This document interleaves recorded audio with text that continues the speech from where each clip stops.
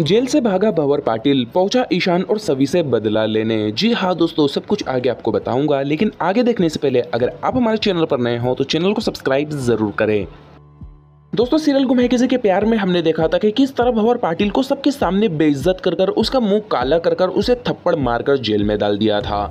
लेकिन दोस्तों, अब आपको बता दें कि भंवर पाटिल जेल से भाग चुका है और वो बदले की आग में जल रहा है। और यहाँ पर भंवर पाटिल न सिर्फ़ ईशान सभी से, बल्कि पूरे भोसले परिवार से जो है अपना बदला लेने वाला है। वो सबको खत्म करना चाहता है। भंवर पाटिल सोचता है की जिससे मैंने इतना ज़्यादा प्यार किया, जिसको मैंने इतना ज़्यादा चाह, उसे हासिल करने की हर मुमकिन कोशिश की उसी लड़की ने जो है मुझे सबके सामने बेइज्जत किया और मुझे जेल भेज दिया। मेरे प्यार की कदर नहीं की और उसने उस मास्टर को बचाने के लिए मुझे जेल भिजवा दिया। लेकिन अब मैं किसी को नहीं छोड़ूँगा। जिसके बाद वो सबसे पहले सभी से अपना बदला लेने जाता है और सभी को मारने वो उसकी दुकान पर जाता है। लेकिन वहाँ जाकर वो देखता है की ईशान और सभी साथ में बैठे हुए होते हैं। जहाँ पर ईशान सभी से कहता है की तुम ये शहर छोड़कर मत जाओ। तुम ये शहर छोड़कर क्यों जा रही हो? तुम यहाँ पर रहकर अपने सपने पूरे करो। मैं तुम्हें, तुम्हारे सपने तुम्हारे जो है ड्रीम्स कंप्लीट करने में तुम्हारी मदद करूँगा। जिसके बाद सभी ईशान से कह दिए कि आप मेरी इतनी परवाह क्यों करते हो? आप क्यों मेरी इतनी फ़िक्र कर रहे हो? मैं ये शहर छोड़कर जा रही हूँ। आपकी कल रीवा मैम से शादी है। आप अपनी शादी पर ध्यान दे। आप अपने फ़ंक्शंस पर ध्यान दे। और इस तरह सभी जो है अपने इमोशंस को यहाँ पर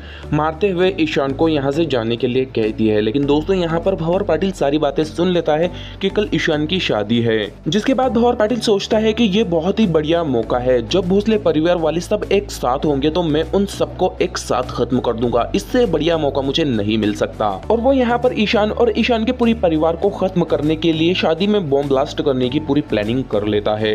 लेकिन दोस्तों एन मौके पर सब कुछ बदल जाता है और यहाँ पर ईशान और सभी की शादी फिक्स होने वाली है। और उसके दौरान जो है यहाँ पर जब वो ईशान से बदला लेने पहुंचेगा तो सभी ईशान को डिफेंड करते हुए नज़र आएँगे। लेकिन ईशान जो है सभी के लिए अपनी जान दे देगा। भंवर पाटिल सभी की कनपट्टी पर गन रखता हुआ नज़र आने वाला है और वो ईशान को ब्लैकमेल करता हुआ भी नज़र आने वाला है, जिसकी वजह से सभी की जान बचाने के लिए वहाँ पर ईशान जो है अपनी जान दे देगा और बॉम्ब ब्लास्ट में पूरा भोसले परिवार खत्म हो जाएगा।